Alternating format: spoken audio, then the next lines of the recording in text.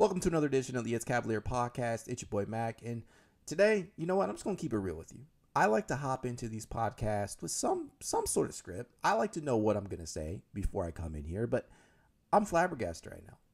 I am conflicted. I don't know how to feel because entering free agency, I'm like, okay, there are a there are a number of particular players that I would like to see in white and gold. A lot of particular players that I would like to see the Cavaliers go after. And what happened? Nobody, nada, zip, no players have been brought in. I'm sure that they have been on the phones, they've been contacting different free agents, but we haven't seen shit. We haven't signed shit, and the roster remains the same. There are a number of guys, I will reiterate, there are a number of guys that I will would have loved to see Don and Wine and Gold, but they've been taken off the board. Maybe we'll see somebody, maybe they'll pull something in day three, but based upon these last two days, I'm not feeling very, very confident that the roster is going to be all that different. Now, with that being said, with the Koby Altman presser and uh, the Koby Altman and Kenny Atkinson presser taking place today, the introductory conference, I was left feeling a lot better because Kenny, there's a direction, right? There's a particular direction that he appears to want to go in, and that sounds like he is going to want the core four to stick around for at least one more season.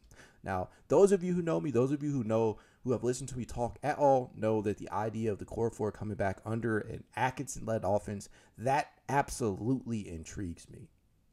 To those of you who disagree that the core four can work or that you know they they need to be split up, I'm not gonna fight you. I don't. That is your opinion. You are entitled to that. I'm just trying to make the best of a situation that that that looks like it's what's what it's going to be this year. It, it is starting to look a lot more like we are going to see the core four here this year. So I just people got to make do with that. If that is that is the case, and based upon what we heard from Kenny Atkinson today, I couldn't help but feel much better about the way that he plans on potentially using Evan Mobley, about the pace being expedited and playing a lot quicker, about getting threes up, about the player development aspect of it all. Because I, I, I have always believed that this offseason was probably going to be more so about getting a couple of moves on the margins. That's why I had a list of guys set out in free agency that I wanted to acquire that could potentially help on the margins. It was going to be more about that than a big swing because I never honestly felt like they were going to end up moving off of one of these pieces of the core four, whether it be Jarrett Allen, whether it be Darius Garland, or anything else. Honestly, you just never really know. But listening to Kenny Atkinson today, I felt a hell of a lot better about the prospects of a core four return, right?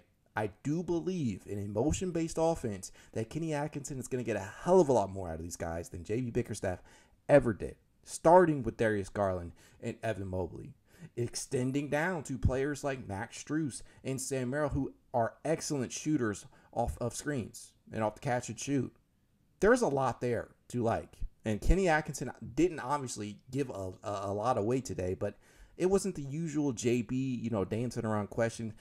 It was some real talk, some real coach basketball talk. And I loved it. Everything sounded genuine. It sounded like they they had the blessing of Donovan Mitchell. Obviously, we knew that he wouldn't be hired in the first place if Donovan did not give his blessing.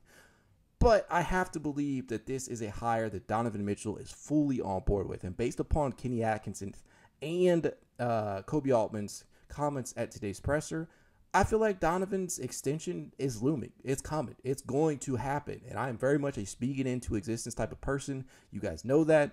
So I'm going to continue to speak it into existence. Donovan Mitchell is going to sign on the dotted line. We will re- we will see him return to Cleveland. That's the first step, and perhaps that is why we haven't seen any real moves being made, or really any moves at all.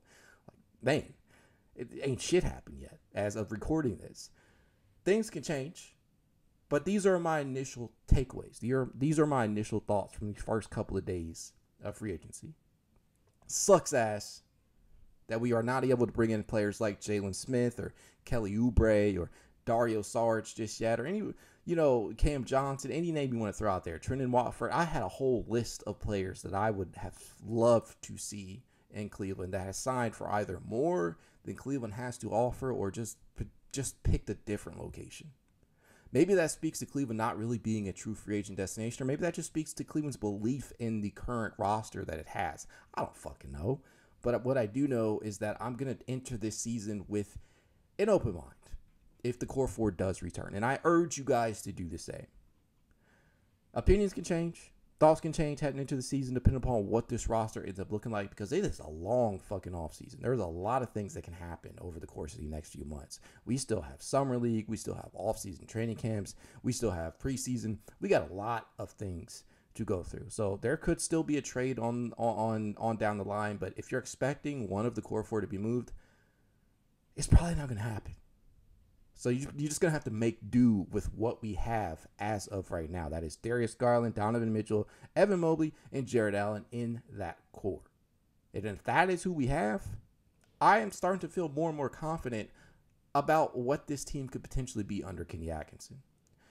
That being said, I'm gonna let y'all go. That those are my initial takeaways. Uh, I'm feeling better. I was I was really feeling down in the dumps after the first couple of days of free agency. But the Kenny Altman, uh, Kenny Altman, Jesus, Jesus, the Kenny Atkinson and Koby Altman presser made me feel a hell of a lot better.